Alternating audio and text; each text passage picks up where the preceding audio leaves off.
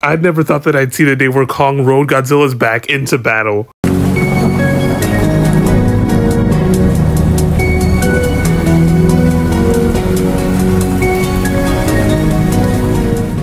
We've been seeing so many TV spots that give us a good example of what to expect in Godzilla X Kong The New Empire. And while many people don't love the new tone of the MonsterVerse, I'm completely fine with it. I get that it's not serious and grounded or whatever, but to be honest, I love being able to turn off my brain sometimes and just enjoy some dumb fun. And it's not like we can't go back to having serious tones in the future whenever we get some different directors, but be completely honest. We're able to see Kong ride Godzilla's back into battle. This is some shit that a fan would come up with and we would never see on the actual screen, but we actually get to to see this shit because Adam Wingard is a fan. And brother, let me tell you, I am super excited for this movie. Like I am I am on the edge of my seat, but at the same time, I'm super depressed because I feel like after we see this movie and after I see it, after all of us see it, we're gonna have to wait like three to four years for another legendary product. Like I feel like there's too much time in between the MonsterVerse movies, and actually that's not a bad thing because it's a good thing that they're taking their time with these movies and making sure they get everything done right. That's honestly what differentiates this between the MCU and other things. They don't shit out projects every like two seconds. They actually take their time with each movie. And honestly, I can never get enough of Godzilla and Kong. This is something that I can literally watch for the rest of my life. Anyway, let's talk about that last TV spot. After Kong rides Godzilla's back into battle, they have to be friends after this, right? There's no way that they're not friends after letting something like this happen. This is officially Godzilla and Kong's bonding moment. Moving on in the trailer, we also get to see Kong and Skar King fight a little bit more, and this time it looks like Skar King gets the upper hand. It's really showing the experience gap in between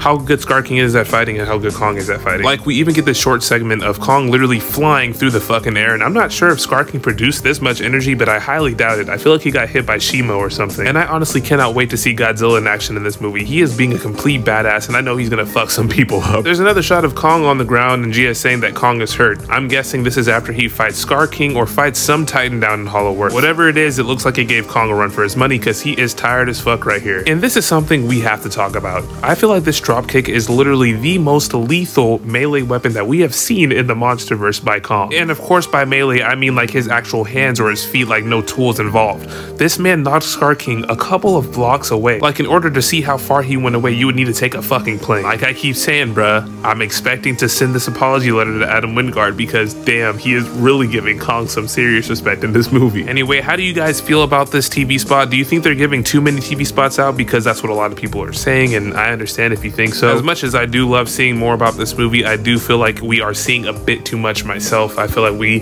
can basically map out every single fight from what we've seen in these trailers. And this is kind of the exact same thing they did with Godzilla vs. Kong. They released like a shit ton of TV spots that showed basically the whole fight between Godzilla and Kong in the first round. Also, don't forget, if you are a fan of mine, if you want to be a friend with me on a personal level, go ahead and follow my Instagram because I love talking to you guys on there. You guys are fucking amazing.